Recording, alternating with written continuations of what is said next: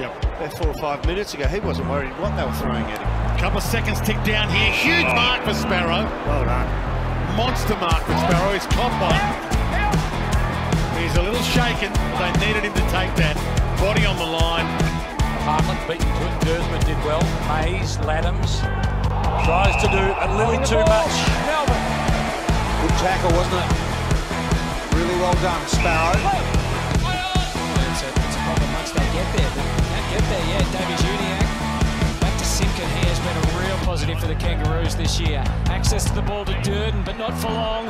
Oliver to Weideman, who continues to grow. And good delivery into the pocket. Jones back inside for Melksham. Salem. Oh, perfect. Sparrow gets another shot for goal. Another side beaten up,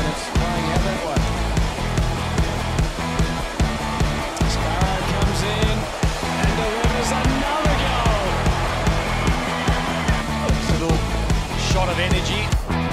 Not demoralised with the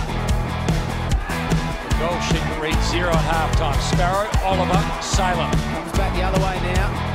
Libba screws the ball to centre wing. Bontempelli back with the fly.